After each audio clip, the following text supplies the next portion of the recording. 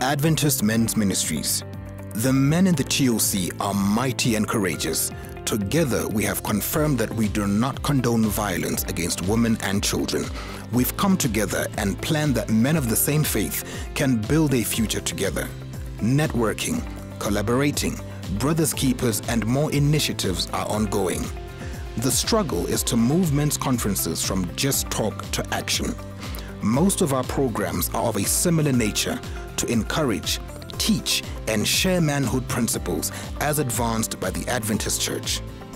We closed the term with an inter-district conference in Christiana. It was well attended and changed our lives for the better. Plans for a tour to Durban were disturbed by the COVID 19 pandemic.